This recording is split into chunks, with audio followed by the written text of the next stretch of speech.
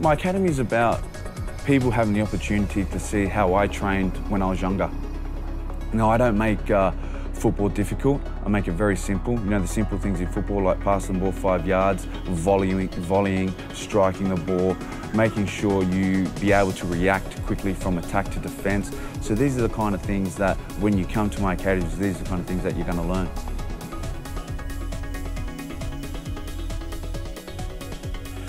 I see a lot of uh, hunger, you know, I see a lot of determination, and it's that's what you want to see. You know, I'm not expecting to be able to come here and get Barcelona players and all that. You know, I'm expecting to get players that are willing to learn, and and it is difficult for them because I am challenging challenging them.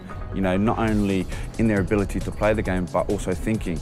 You know, and then sometimes they don't get that at a young age. You know, they get to just play football and understand okay the movements of football and all that. But now I'm trying to introduce thinking as well. So it's it's tough for them it's mentally draining for them. But you know, if you want to be a footballer, you got to you got to start to learn these things early.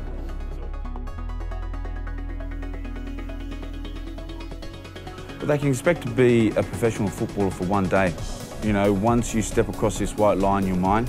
You know, and you have the chance to work for 90 minutes as a professional footballer. I won't treat you any different to what I, I treat my players back in Watford. If you're not doing it right, I'll question you. I'll make sure you're doing it right. I'll show you how it's doing it right. So again, if you want to feel that, that professionalism for one day, come in and get involved.